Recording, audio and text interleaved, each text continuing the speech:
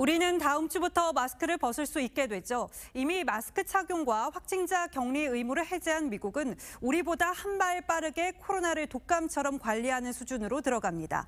독감 백신 매년 접종하듯이 코로나 백신도 매년 접종하는 방안을 추진하는 건데요. 백신 생산 시스템도 독감처럼 전환할 계획입니다. 그러니까 올 겨울에는 어떤 변이가 유행할지 여름에 평가한 뒤에 그에 맞는 백신을 가을에 접종하는 방식인데요. 신경희 기자가 보도합니다. 미국 식품의약국 FDA는 오는 26일 코로나 백신 관리 체계 간소화 방안을 논의한다고 밝혔습니다. 복잡하고 난해한 현재의 코로나 예방 접종 방식을 독감처럼 단순화하겠다는 겁니다. messaging that is more simple of uh, when you should get your next shot, uh, essentially.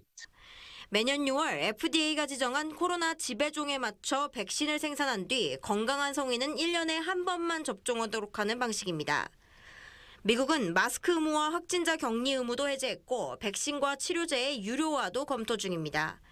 사실상 보건의료 시스템을 코로나 이전으로 되돌리는 겁니다. 인플루엔자 같은 병이 하나 또 세상에 생겼다고 인정하고 사회생활을 유지하자 그렇게 보는 거죠. 국내 코로나 상황도 호전되고 있습니다.